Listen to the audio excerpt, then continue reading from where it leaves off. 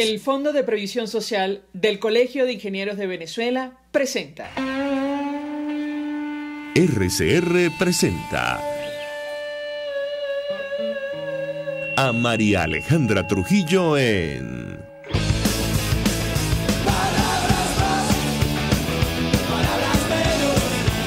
Palabras más, palabras menos.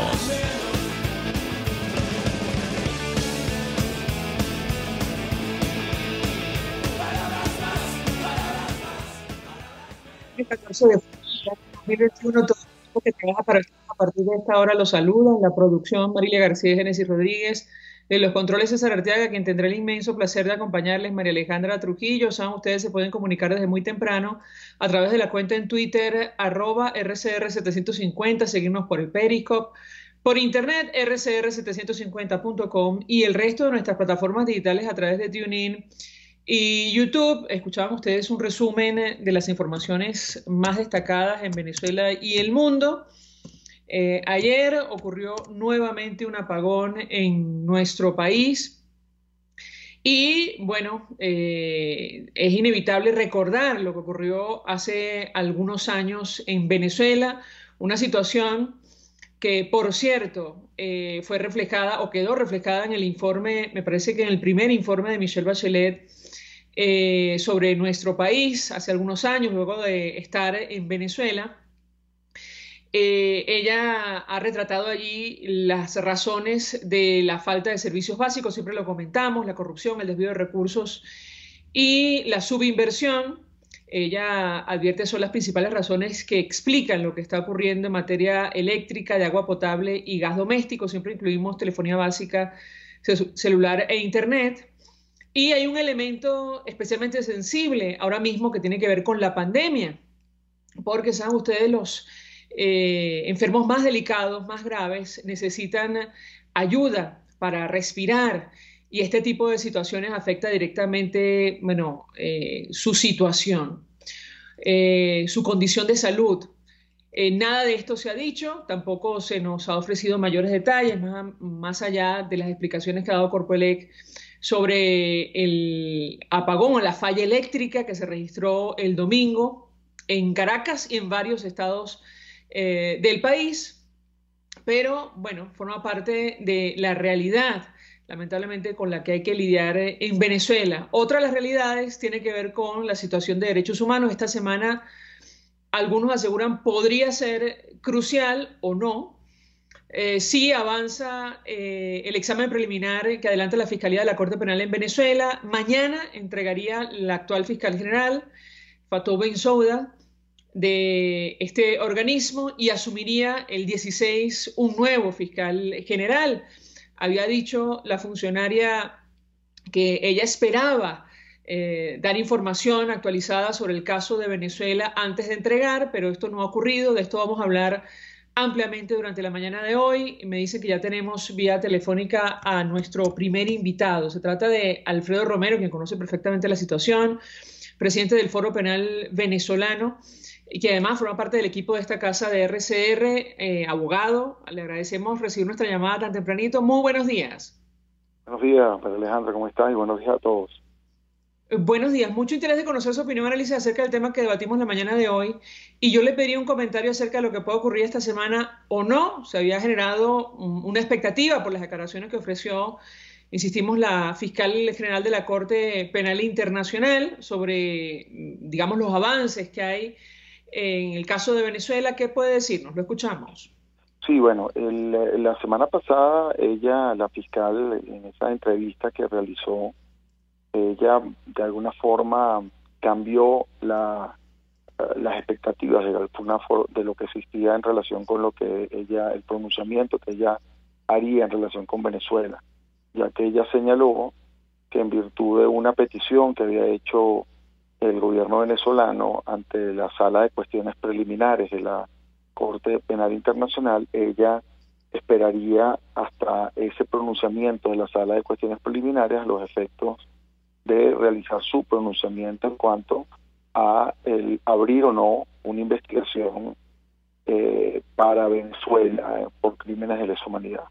En ese sentido, pues la expectativa que existía de que ella hiciera ese pronunciamiento sobre la admisibilidad o no antes que se fuera, pareciera, según lo que se, o menos lo que yo entendí de la de la entrevista o de la que ya se pareciera pues ya no no sería así, ¿no?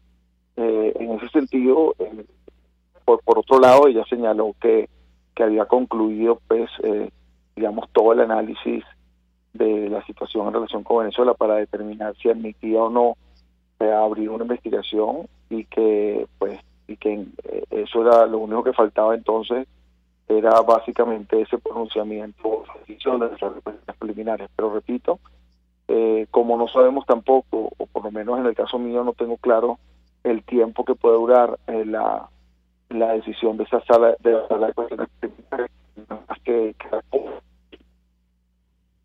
eh, no, no sabrá o no sabe claramente cuándo esa decisión sobre la admisibilidad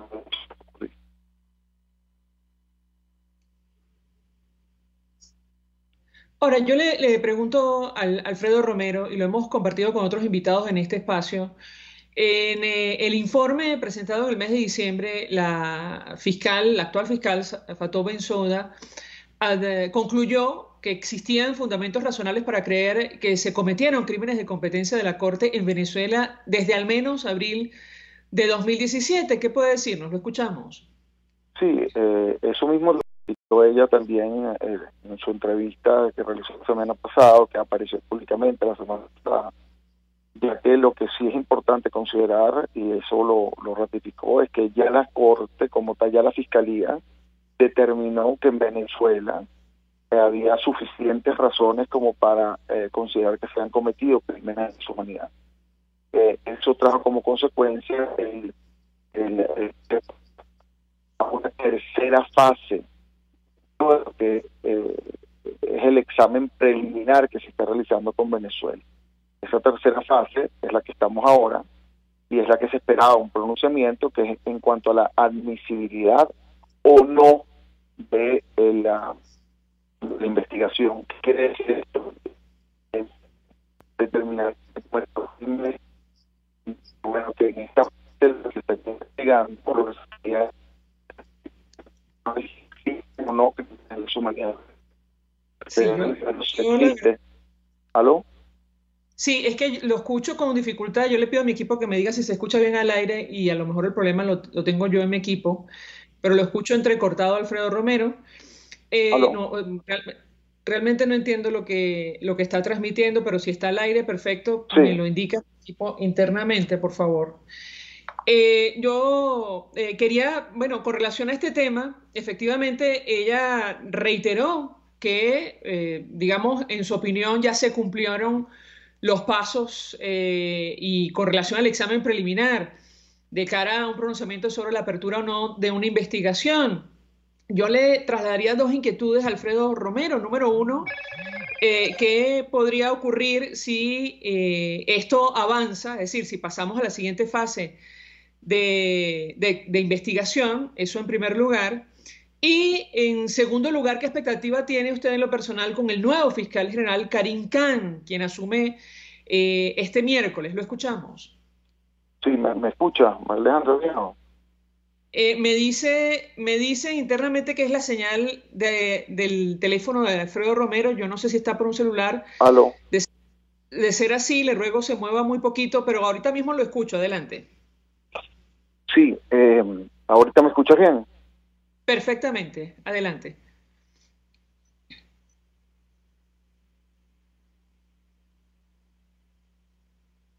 Aló. adelante, lo escuchamos. Ah, Alfredo Romero. Sí, el, em, la admisibilidad, en la fase de admisibilidad que sería esta, lo que está, lo que básicamente analizaría la fiscal o está analizando o terminó de analizar es si en Venezuela existe en este momento por parte de los órganos de las instituciones venezolanas, particularmente la Fiscalía, eh, investigación o actuaciones en relación con estos crímenes que ya la Corte de alguna forma determinó, la Fiscalía determinó que existían. Eh, si existe una investigación en Venezuela, que sería eso lo que estaría investigando, no tendría por qué eh, la Fiscalía eh, realizar o comenzar una investigación por su cuenta, que es lo que se denomina la complementariedad, el principio de complementariedad. eso sería lo que, lo que se determinaría en esta fase. Em, que repito, mm, no sabemos cuándo va a haber ese pronunciamiento, ya que la fiscal la, la semana pasada señaló que eso que iba a esperar la, la decisión de la sala de cuestiones preliminares. Expectativas en relación con el nuevo fiscal, bueno, mira, no no lo sé, no lo conocemos. Eh, este, yo no, igual que Fatú en Sudán, pues no sabemos cuál la actuación, eh, digamos qué posición va a tomar. Lo, el hecho es que si la fiscal no toma su decisión antes de irse, sería el nuevo fiscal el que tiene que tomar esa Karim Khan, que sería el nuevo fiscal, sería el que tiene que tomar esta decisión en relación con eh, admitir o no la investigación, es decir, comenzar o no una investigación ya formal en relación con la situación de, Venezuela en cuanto a crímenes de humanidad respecto. Eh, le escuchaba declaraciones de Alfredo Romeo eh, recientemente advirtiendo o rechazando, mejor dicho, eh, que se hiciera uso político de lo que está ocurriendo en los derechos humanos en nuestro país en el marco de este examen preliminar o las denuncias y la situación que ahora mismo todavía se mantiene. ¿Qué, puede decirnos? Lo escuchamos. Sí, eh, el tema de los derechos humanos, lamentablemente, cuando se politiza, pues pierde eh, su sentido, incluso el tema de la justicia, ¿no? Porque yo he visto algunas eh, posiciones que de alguna manera buscan plantear la, decisión o la, o la posición que tome la fiscal y el Tribunal Penal Internacional como un éxito, digámoslo así, político que más que hacer justicia busca como una especie de venganza, ¿no? Contra eh, personas que de alguna manera eh, son, digamos, contrarios políticamente. En este caso serían las personas que, que al día de hoy gobiernan Venezuela.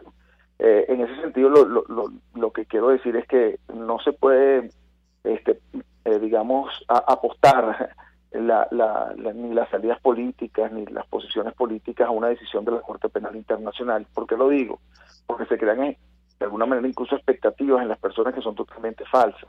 La, primero, para, para que la fiscal, incluso si comienza una investigación ante la Corte Penal Internacional, esa investigación puede tomar un tiempo que no necesariamente que nadie puede calcular, o sea, este, esta fiscal o el próximo fiscal que tome cargo de, la posición eh, en ese sentido, de tomar, eh, de comenzar una investigación. Luego, no existen todavía determinación de responsabilidades. Es hablar de que, de que ya hay responsables por crímenes de lesa humanidad en Venezuela, no, eso es precisamente lo que se determinaría luego de comenzar una eh, investigación y luego de comenzar una investigación y luego de determinarse que existirían responsables, entonces comenzaría un proceso, un juicio que puede tardar mucho tiempo en relación con esas responsabilidades.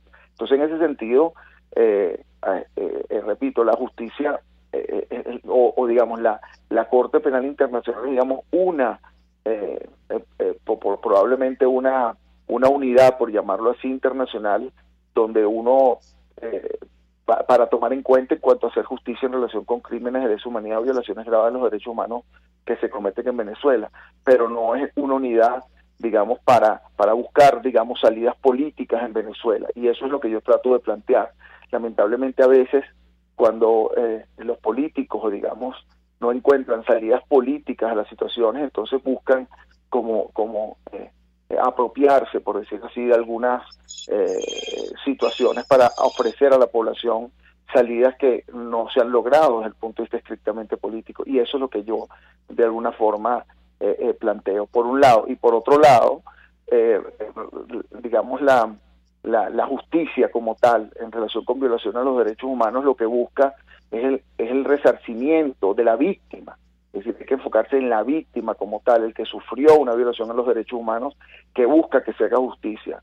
No, no, no, no, no busca de alguna forma eh, satisfacer o, o, que, o que los políticos de alguna manera planteen una solución concreta para un beneficio, digamos, político individual. El beneficio, repito, de la justicia y lo que debe enfocarse y lo que debe motivar de alguna forma, impulsar la justicia, es, eh, es la víctima y lo que han sufrido esas personas por crímenes graves que han cometido en su contra y que siguen sufriendo, porque hay que recordar que en Venezuela existen más de 300 presos políticos todavía, que son parte pues de esta situación de crímenes de lesa humanidad. En Venezuela existen personas que han denunciado, siguen denunciando torturas que han realizado en su contra. En Venezuela existen todavía personas que esperan juicio, eh, que ni siquiera se ha comenzado, eh, de eso se puede hablar mucho, personas que, eh, que sus familiares han sido este, asesinados, por ejemplo, y que buscan justicia, ¿no? Si permite Alfredo Romero, le ruego permanezca unos minutos más.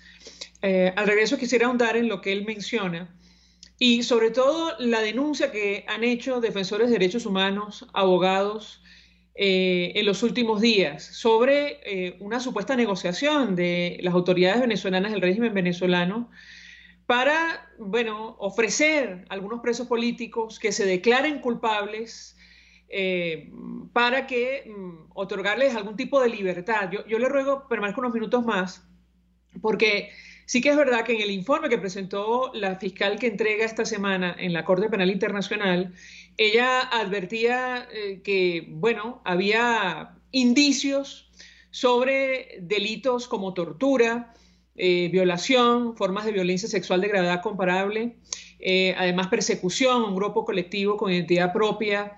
Esos son los delitos inicialmente sobre los cuales hay indicios en nuestro país. La pregunta que yo le haría, si se llega a un acuerdo de esa naturaleza que han denunciado defensores de derechos humanos con presos políticos, eh, digamos, desaparece inmediatamente la evidencia sobre lo que ya reposa en la Fiscalía de la Corte Penal Internacional. Le ruego permanezca unos minutos más, regreso quisiera ahondar, si me permite, en este tema. Ya venimos.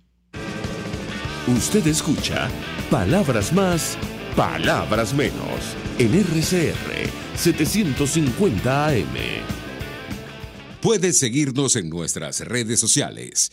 En Twitter, arroba RCR750 la radio que se ve.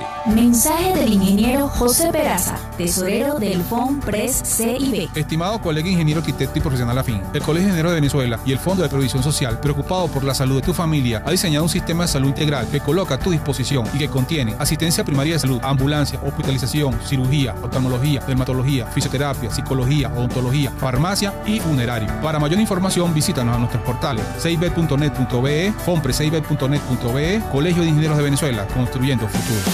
En Global Therap seguimos comprometidos con tu rehabilitación física, te ayudamos a recuperarte de tu posoperatorio y en el alivio del dolor. Búscanos en el centro comercial Multiplaza Paraíso Nivel Empresarial 2 a través de Twitter e Instagram o llámanos al 0412-256-1104. Y no olvides lavarte las manos con agua y jabón y cumplir con el distanciamiento social. Global Therap y despídete del dolor. Todos las piensan, todos las escuchan y María Alejandra Trujillo te las dice. Palabras más, palabras menos. Continuamos amigos, palabras más, palabras menos, hablando acerca de los derechos humanos en nuestro país, a propósito de lo que puede ocurrir o no con el examen preliminar y la posible apertura de una investigación eh, formal en la Fiscalía de la Corte Penal Internacional por Delitos de Lesa Humanidad de nuestro país. Nos acompaña Alfredo Romero, que conoce perfectamente este tema. Yo les hago una inquietud. Algunos defensores de derechos humanos eh, vienen denunciando que mm, se han acercado a los presos políticos, a sus familiares, ofreciéndoles eh, un trato, digamos, que se declaren culpables para eh, obtener su, libertad. Yo quisiera confirmar con usted esta, esta denuncia. Y por otra parte, preguntarle si los delitos tan graves que ya figuran en el examen preliminar, sobre los cuales existen serios indicios, como reposa en el informe de Fatou Benzoda, eh, bueno, de alguna manera eh, pueden ser atenuados si este tipo de negociaciones ofrecimientos se concretan. ¿Qué puede decirnos? Lo escuchamos. Sí, bueno, hay que recordar que el, digamos nuestra legislación establece la posibilidad de que las personas admitan hechos eh, en relación con crímenes cometidos. Evidentemente, el, cuando una persona está en una situación, eh, sobre todo eh, de, falta de proceso, de falta de juicio, lleva un tiempo presa por años y no se le realiza la posibilidad de un juicio rápido, eh, la persona a veces prefiere admitir hechos sin cometer delitos solo por la razón de que de alguna forma sí concluye esa gran incertidumbre que existe en cuanto a, a mantenerse o no privado de libertad. Eh, y bueno, lamentablemente hay casos donde eso eso ocurre, que a la persona se le ofrece esa admisión de hechos y la persona a veces lo asume, pero repito, eh, lo, lo, lo, que siempre nosotros hemos señalado es que eh, la, más del el 90% de los presos políticos y personas que han estado en situación de, de, detención arbitraria con fines políticos no han tenido derecho eh, ni siquiera a la defensa. Hay casos, por ejemplo, de, por decir, uno de, de Antonio Garbi, muchacho que a los fue encarcelado en el año 2014, ya lleva siete años preso y esta persona eh, no ha tenido ni siquiera derecho a un juicio, eh, eh, no ha tenido derecho a la defensa. Entonces, lo que nosotros hemos señalado es que esa persona puede ser liberada de manera inmediata ya que ni siquiera ha tenido este, ningún tipo de, de, de responsabilidad. Si él se le ofreciera, por ejemplo, una admisión de hechos, a lo mejor por el hecho de que no ha tenido juicio, esa persona pudiese aceptarlo, cosa que no se le ha ofrecido en particular que yo sepa, ¿no? Este, pero esa es la situación que se vive en relación con los presos políticos. Em, me, me, decías que en cuanto a las negociaciones, eh, bueno, uno siempre hemos señalado que lamentablemente se ha utilizado los presos políticos como fichas de negociación en, y de alguna forma fichas de intercambio, ¿no? Para eh, eh, con el objeto de obtener beneficios, digámoslo así, políticos, de ofrecer a la población o de plantearle tanto al, al sector nacional como internacional de que Venezuela de alguna manera se está aliviando la situación de los derechos humanos ofreciendo la liberación de presos políticos. Primero quiero decir que, que bueno, que siempre es bienvenida la liberación de presos políticos de cualquier manera. Uno es un es importante, pero evidentemente siempre hemos señalado que para que efectivamente se demuestre que en Venezuela se está haciendo algo, un mensaje real de alivio en la situación de los derechos humanos, se deberían liberar todos los presos políticos. Eh, eso es fundamental, eso por un lado. Por el otro lado, evidentemente nosotros no, en el caso del foro penal, al menos y mío personal, no nos oponemos a ninguna negociación eh, o a ningún planteamiento, digamos, de salida, sobre todo que solucione el, tema de la crisis de violación de los derechos humanos en el país. Sin embargo, las negociaciones deben tener el interés de la de la solución de ese problema fundamentalmente, de la violación de los derechos humanos, debe tener ese interés y ese ese ese enfoque, ese motivo específico. No debe ser lograr, por ejemplo, la impunidad. Porque entonces el otro punto, una negociación puede pretender, por ejemplo, que no se siga investigando, que no se comience una investigación ante la Corte Penal Internacional o que de alguna manera queden impunes crímenes cometidos. Bueno, si eso es así, entonces el fin de la, investigación es totalmente no solo errado, sino contrario pues al respeto de los derechos humanos y estaría contrario al planteamiento y a lo que las organizaciones de derechos humanos hemos venido señalando y aspiramos hace mucho tiempo, que no es más que paz y, justicia. ¿no? ¿Cómo interpreta usted eh, la posición asumida por el fiscal eh, designado por la constituyente comunal al margen de la Constitución eh, con relación a casos emblemáticos como el de Fernando Albán, el capitán Acosta Arevalo o Juan Pablo Pernalete? Lo escuchamos. Bueno, no podemos negar que, que se comience una investigación, es lo que hemos siempre apostado a que ocurra, ¿no? Eh, de alguna manera no podemos negar que, que, si hay una investigación cierta en Venezuela es algo de alguna forma. El tema es que si efectivamente primero se está comenzando una, una investigación real, eso habría que determinarlo. Eh, eso podemos hablar también, pero la pero por el otro lado, si es, si es, es que si esa investigación se está comenzando para ofrecer o para plantear o para crear la percepción de que se está investigando en Venezuela y no se investiga ante la Corte Penal Internacional. Eso sería eh, distinto. ¿no? Ahora bien, por un lado quiero decirte que considerando esto último, que, tenga ese propósito, por un lado eh, lo que está realizando quiere decir que ese propósito no se puede cumplir, porque por un lado lo que está investigando, lo que investigaría la Corte Penal Internacional son crímenes de deshumanidad, y la investigación que así se está planteando que se está haciendo en Venezuela o que así se está ofreciendo como, como que se está haciendo, es una investigación por un crimen común específico sobre un caso concreto, no es por con un crimen que está acompañado del patrón sistemático, es decir, de la repetición de actos con propósitos o con motivación política para excluir, por ejemplo, un sector de la población eh, eh, o, para, discriminar o para o dirigir a un sector específico de la sociedad. Eso no se está planteando así, por un lado. Y por otro lado, hay que considerar que lo como ya lo señalaste anteriormente, la investigación que se en la Corte Penal Internacional, eh, lamentablemente, por lo menos hasta ahora, no incluye asesinatos, sino incluye detenciones arbitrarias con fines políticos, tortura, abusos sexuales, eh, desaparición forzosa y persecución política, lo que quiere decir que asesinatos incluyen en, esta investigación. Incluso si se estaría investigando asesinatos, como el caso de Albano, como el caso de Postrevalo, esto no estaría eh, en la, en la investigación de la Corte Penal Internacional, por lo tanto no, no puede considerarse para, para contrariar lo que sería esta investigación o para decir que está investigando algo que la Corte está investigando, ¿no?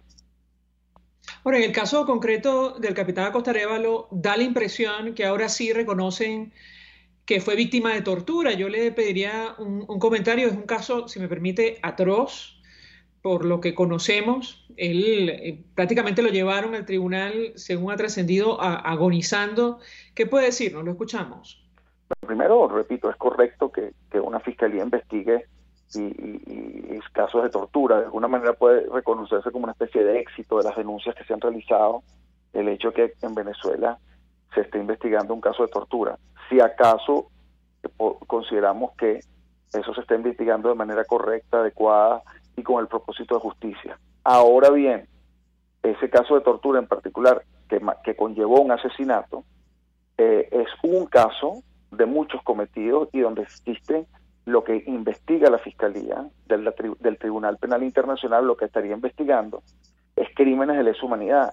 El crimen de lesa humanidad no es un caso de tortura donde hay unos responsables específicos. Cuando hablamos de crímenes de lesa humanidad es porque hay eh, digamos, varias personas o un grupo planificado, un patrón de conducta dentro de, en este caso, de, un régimen que de alguna forma conlleva a que existan varios casos de tortura o un caso de tortura con propósitos de, por ejemplo, excluir políticamente a un sector de la población o perseguir políticamente a un sector de la población. Eso es lo que se define como crimen de lesa humanidad.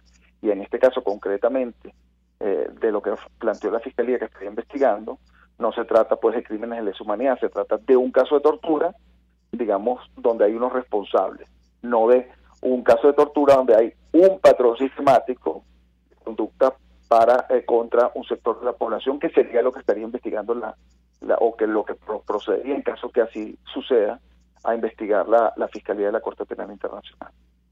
Eh, yo le preguntaría, número uno, el informe de la fiscal advierte que autoridades civiles, miembros de las Fuerzas Armadas, individuos a favor del gobierno, han cometido los crímenes de lesa humanidad eh, de encarcelación, privación grave de, libertad física en violación a las normas fundamentales de derecho internacional y los otros delitos que serían investigados. Eh, el régimen de Nicolás Maduro se podría negar, por ejemplo, como ha hecho con la misión de determinación de Hechos de Naciones Unidas a colaborar si se abre una investigación, eso en primer lugar. Y en segundo lugar, eh, ¿cómo ve usted esto de la justicia transicional en el marco de una posible negociación entre distintos factores en, nuestro país? ¿Eximiría o podría eximir de, culpa eh, a posibles responsables un proceso como este? ¿Qué opina usted? ¿Qué puede decirnos sobre estos dos temas? Lo escuchamos bueno, de negarse o, a permitir que se haga una investigación, bueno, en la práctica lo puede hacer de manera arbitraria, este, incumpliendo pues con lo con lo que establece el Estatuto de Roma, que Venezuela es parte ¿no? del Estatuto de Roma. Formalmente no se puede negar, porque, o sea, no puede decir que es que no, no es parte del Estatuto de Roma y que no está sometido a esa investigación. Formalmente no, ahora en la práctica, bueno, eh, de alguna forma puede actuar arbitrariamente y negarse a colaborar. Eso pasó, por ejemplo, en el caso de, de Sudán, concretamente, donde no solo se realizó una investigación y el gobierno eh, no colaboró, sino incluso hay una orden de captura contra el presidente o contra el que era presidente en esa, en esa oportunidad, que es Amar al-Bashir, Omar al-Bashir, y este nunca ocurrió más nada porque no pudo la corte. Eso, es importante hacerlo ver en, cuanto a, las posibilidades de, actuaciones arbitrarias que tomen eh, en la práctica determinados gobiernos. ¿no?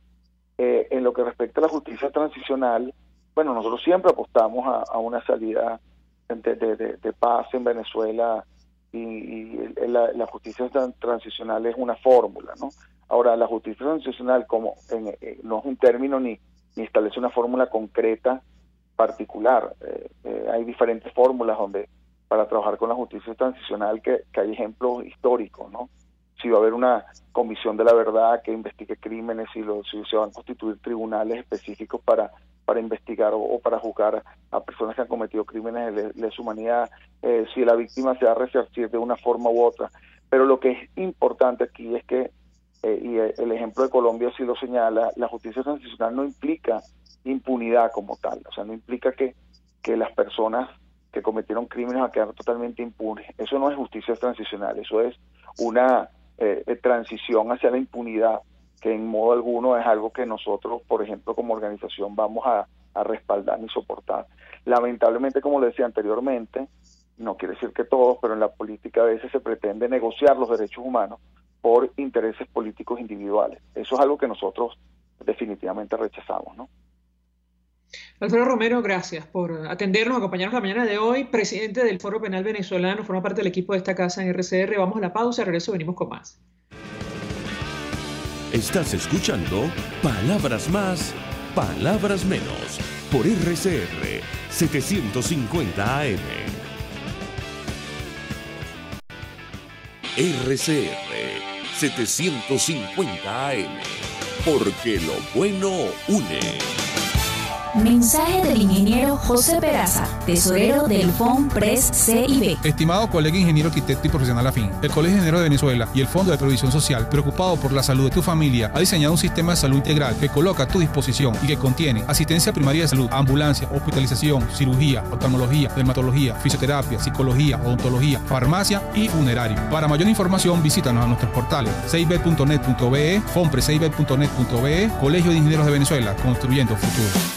Mis amigos, una empresa comprometida y responsable con su personal es una empresa segura y Produzca es la compañía pionera en Venezuela que ofrece la mayor cantidad de equipos de comprobada calidad para garantizar la seguridad integral de toda la nómina industrial de cualquier empresa. El catálogo de Produzca es inmenso, todo tipo de guantes, cascos, accesorios y productos varios de protección para tu personal.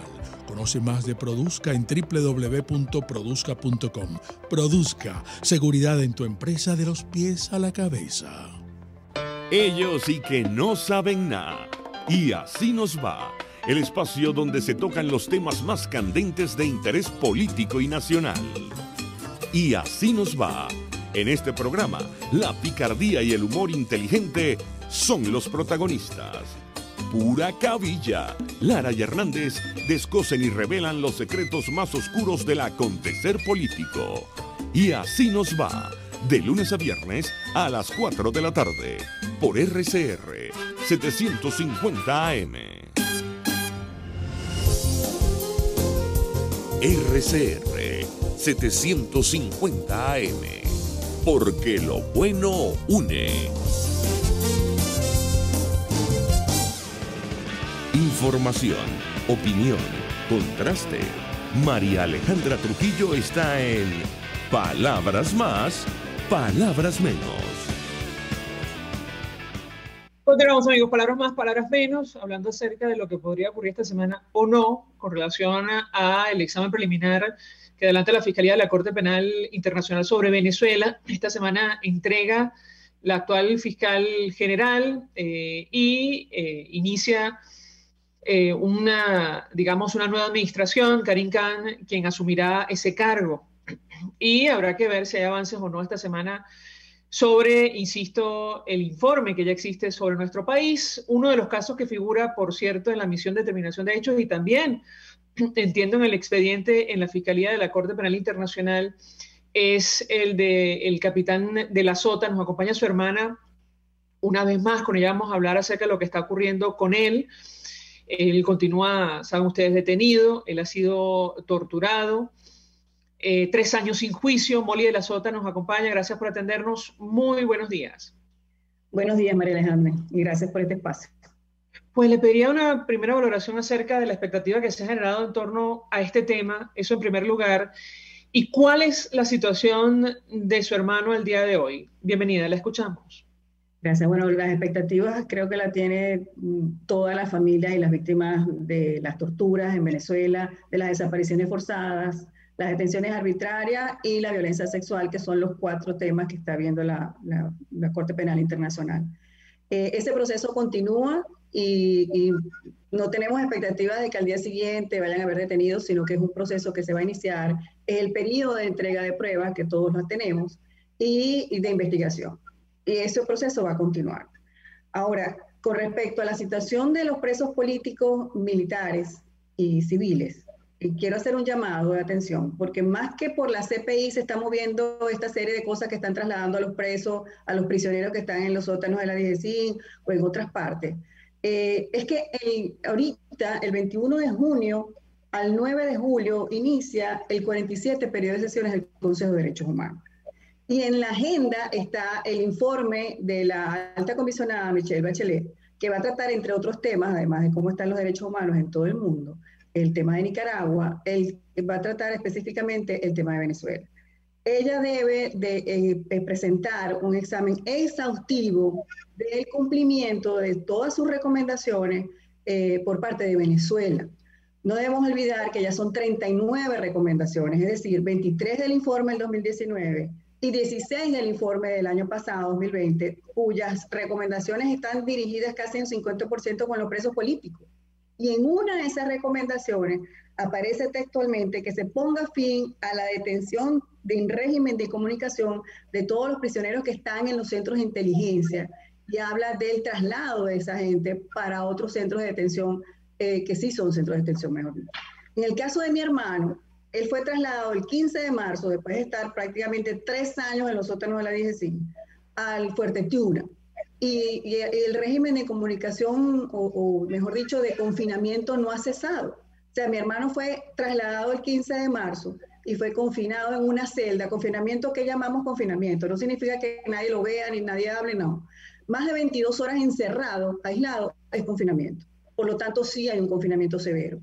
Los mantienen allí en Fuerte Tiuna, estaban 14 personas, fueron todas trasladadas, quedaron 5, 3 militares y 2 civiles, cada uno en su celda, están encerrados todo el día. Mi hermano, después de tres semanas de llamar por teléfono sin comunicación telefónica, el viernes llamó por teléfono diciendo que al día siguiente eh, tenía visita por una hora a las 10 y media de la mañana. Eh, y también quiero denunciar que esta visita sí se realizó es más, le dan fotografía. La fotografía, pues, como me imagino que se la llevarán a la comisión de la señora Bachelet, que está en Caracas desde hace dos años, para decir, mira, si estamos cumpliendo con las visitas. Eso no significa que después de la visita lo encierren. Es más, este, presentaba mareos, dolores de cabeza, tiene dolores de cuello, problemas para dormir.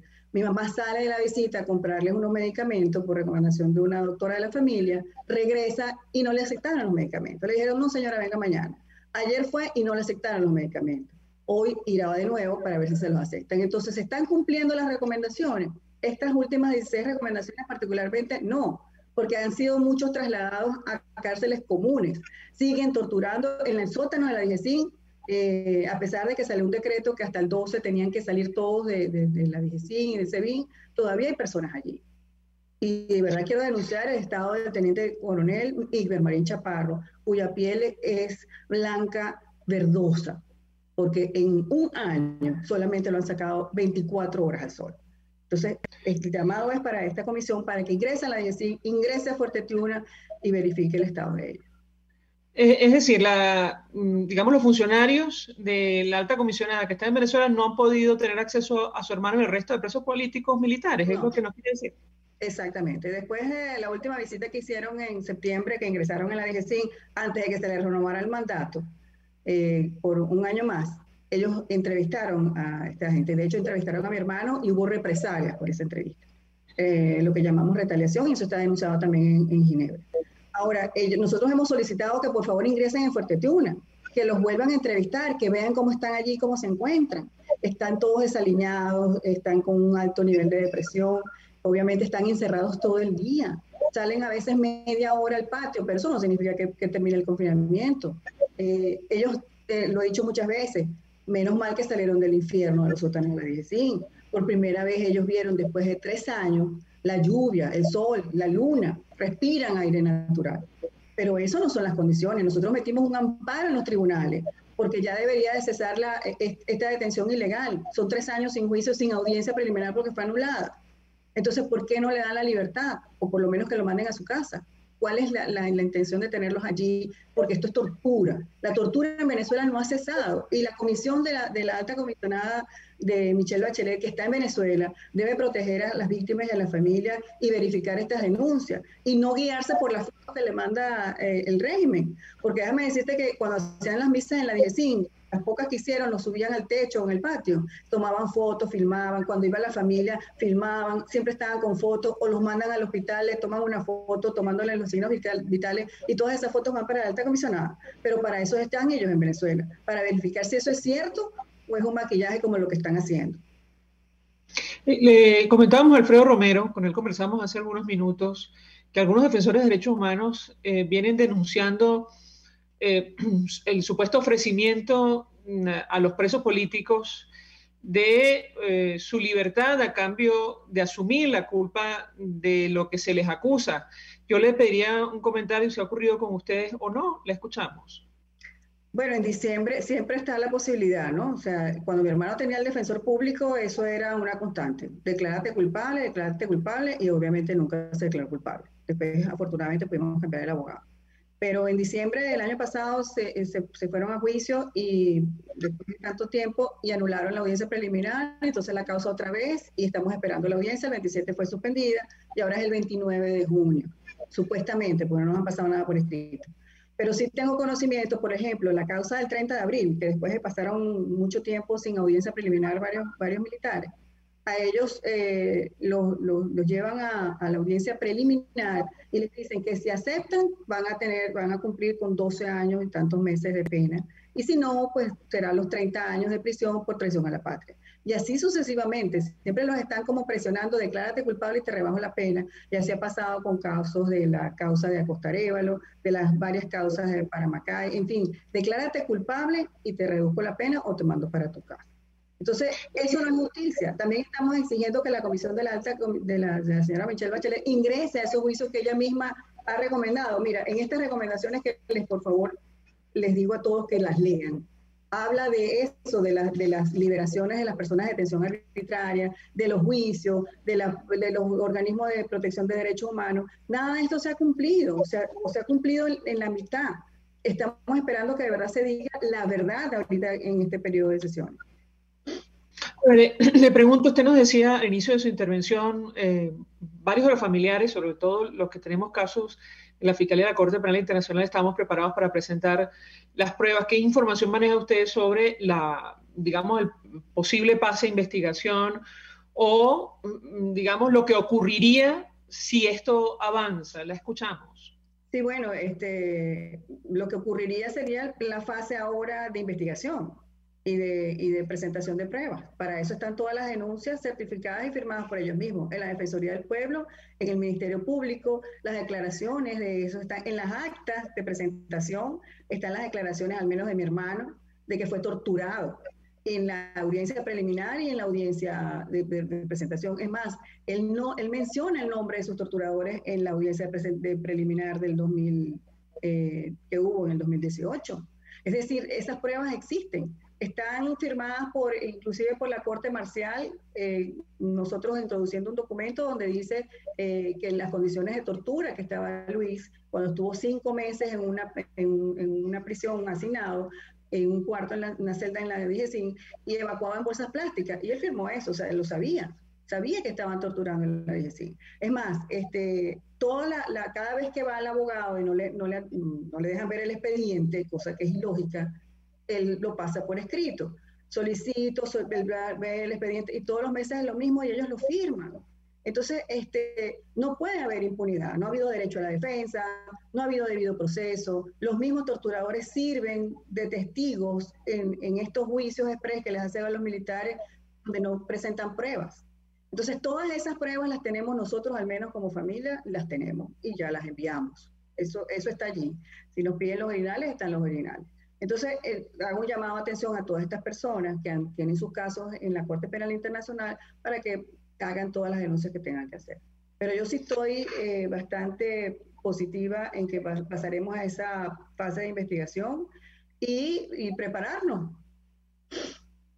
Decía eh, la esposa del capitán Acosta Arevalo, a propósito de lo que ha ocurrido en ese caso sobre el inicio de una investigación y algunos cambios, eh, al menos de forma, en cuanto a los delitos que se le imputan a los presuntos responsables materiales eh, que ella esperaba conocer, bueno, la responsabilidad de la cadena de mando, que no es mencionada prácticamente creo que en ningún expediente. Yo le pedí un comentario sobre este tema. En el caso del informe de la misión de determinación de hechos, siempre lo mencionamos, está el caso de su hermano, eh, con algunos detalles, es el número 13. Allí, eh, digamos, se, se ve algunos de los funcionarios que pudieron estar involucrados. Yo le pedía comentario al respecto. Le escuchamos. Y bueno, el caso de Capitán Acosta eh, es el número 17 de ese mismo informe. Y, y, allí, tanto en ese informe como en un trabajo extraordinario que hizo Amnistía Internacional sobre que se llama Morir ante un juez, eh, están definidas todos estos procesos. Yo no solamente hablo de la cadena de mando, porque la cadena de mando es decir, ajá, ¿quién mandó? Quién, ¿Cuál es el supervisor de estas dos personas que supuestamente solamente tuvieron que ver con el asesinato y tortura de Costa Rica? Eh, sino también los cómplices que sabían lo que estaba pasando y se callaron. Eso es parte de la Convención contra la Tortura y de la ley contra la tortura en Venezuela. Y con este caso quiero hacer una aclaratoria, porque hubo mucha confusión. El capitán Acosta Arevalo muere a las ocho y media de la noche en ese tribunal, del Tribunal Tercero de Control, donde fue presentado en silla de ruedas, eh, con el juez Amequita Pío. Él muere, él cae y muere allí en el tribunal. Este, este, se dijo que el, juez, pues bueno, tuvo como la misericordia, lo vio tan mal que lo mandó para el hospital, no, sacó el cuerpo y continuó con la audiencia de presentación, porque no, Costa Revalo no estaba solo. Habían cinco personas más en esa audiencia que estaban torturadas, visiblemente torturadas. Tenían hasta la piel eh, en carne viva por, el ácido que le habían hecho. Tenían dislocación en los hombros, golpes. Eh, entonces, ¿cómo es posible que hayan sacado el cuerpo de Acosta Arevalo y haya continuado esa audiencia de presentación? Que, por cierto, a todos estos tres militares, cuatro militares y los dos comisarios del 6CPC, los acaban de juzgar y meter ocho años, cinco años, siete años, los declararon culpables, habiéndose presentado así. Entonces, no solamente eh, tienen que ver, este, me van a decir que estos dos, estos dos custodios, que en primera instancia dijeron que era que Costa se le había caído por un barranco y por eso tenía esa fractura. Después, cuando sale se filtra esta acta de defunción, que se ve todo, que obviamente que estaba torturado, la señora Bachelet se quejó y dijo, miren, no puede ser, tienen que introducir el delito de, tortura. Entonces se anula esta sentencia, ahora se introduce, Tarek Williams se introduce el delito de tortura y homicidio a esta gente y van a juicio. ¿Dónde están esas personas? ¿Por qué la comisión de la señora Bachelet no insiste en que haya justicia?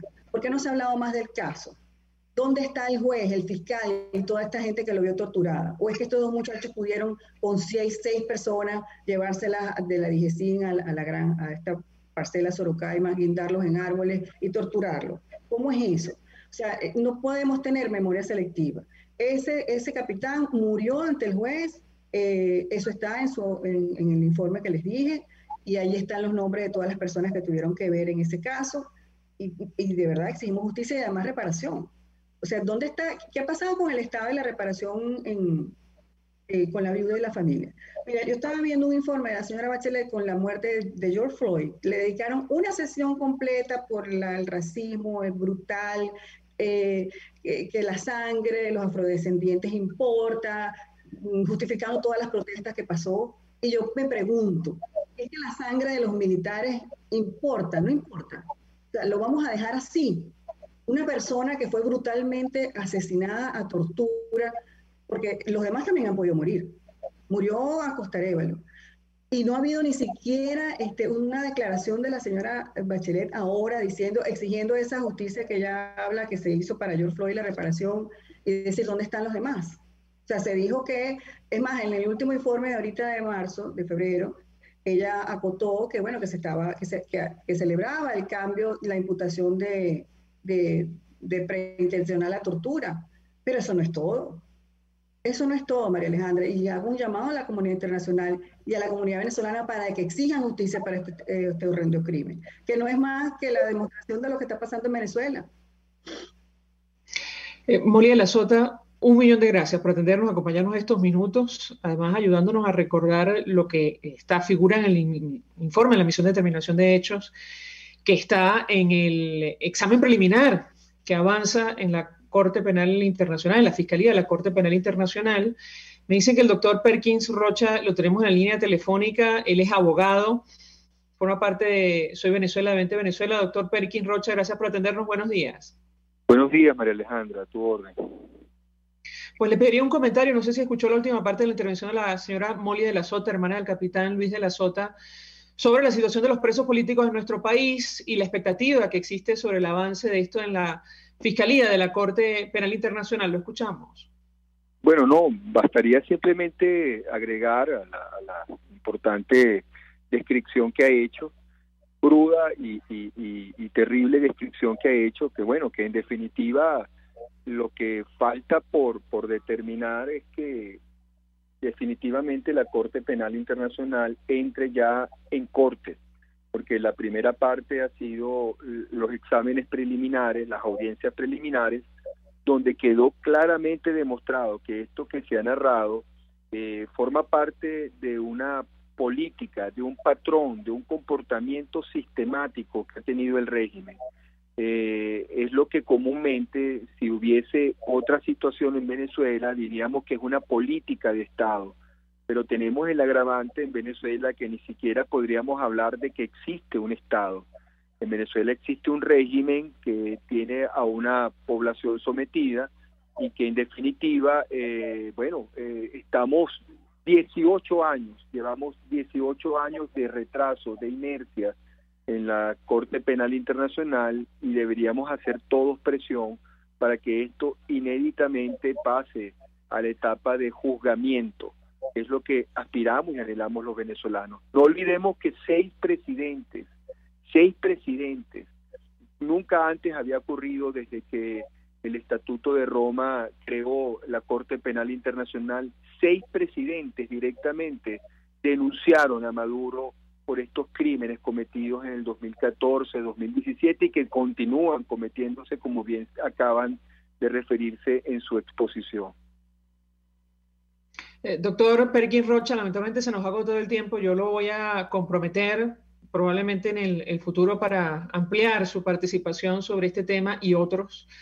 Eh, Molly de la Sota, gracias como siempre por atendernos, acompañarnos eh, la mañana de hoy, ofreciendo detalles acerca de lo que está, insisto, en los expedientes sobre Venezuela. Habrá que ver si esto avanza, si pasa a una fase de investigación en la Fiscalía de la Corte Penal Internacional. Nosotros nos despedimos y lo hacemos en nombre de todo el equipo, los dejamos con por todos los medios. El Fondo de Previsión Social del Colegio de Ingenieros de Venezuela presentó. RCR presentó Palabras más, palabras menos.